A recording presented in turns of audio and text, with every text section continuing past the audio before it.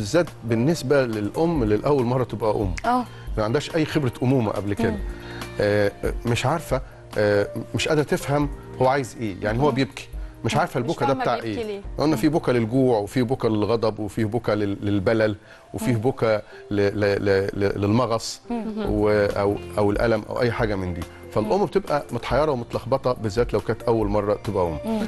إحنا بنبقى عايزين نعتني بالدوائر المحيطة بالطفل. يعني أقرب دايرة محيطة بالطفل هي أم. الأم.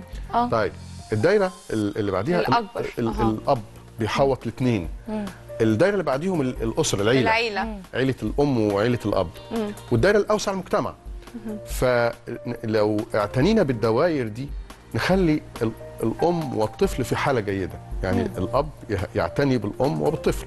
والعيلة تعتني بالإيه؟ بالثلاثه بال- بالاثنين بال- بقى. بالعيلة الجديدة دي الأسرة الجديدة دي. أيوه.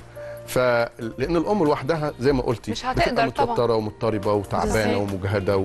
ويمكن تدخل في اكتئاب ما بعد الولادة حاجات زي كده كتير حتى يا دكتور لو عندها كمان أطفال تانيين بالظبط تبقى متوترة برضه دي. بقى مشكلة تعتني أكبر أعتقد. بالكبار ولا تعتني باللي لسه جاي ده والغيرة ما بين ال- ومين الأطفال. بيضرب مين ولما بيشوف أخوه كده. هو بيرضع بيبقى عايز يقلده فالمشكلة بتبقى لازم بقى الأب. يدخل في المعادلة وتدخل الأسرة عشان كده بتلاقي لما واحدة بتولد بتلاقي أمها وحماتها وخالتها وعمتها. وده كويس بالمناسبة يعني يعني شيء كويس. إن هم بيساعدوها في تربية أيوة. البيبي يعني. يساعدوها ويدوها ال- الخبرة لأنها لسه بتجرب. وبتبقى حتى رغم إنها حابة إن يبقى عندها طفل بس ساعات يبقى فيه مشاعر متناقضة.